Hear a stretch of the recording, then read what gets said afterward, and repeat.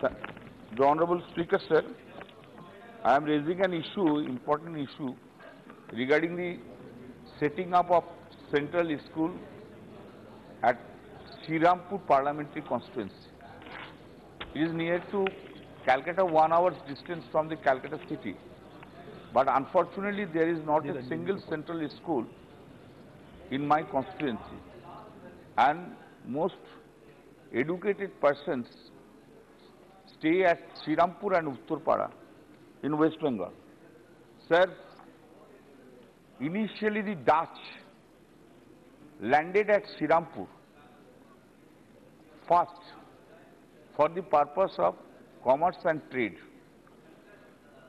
After the Dutch, the French came at Chandannagar and there after thereafter, long after, East India Company landed at Kolkata. Therefore, Srirampur is the oldest town, I, not only in the state of West Bengal, but in the entire country itself. Sir, therefore, I, through you, I make a request. We hardly need a central school, otherwise we have to send our kids either at Barakpur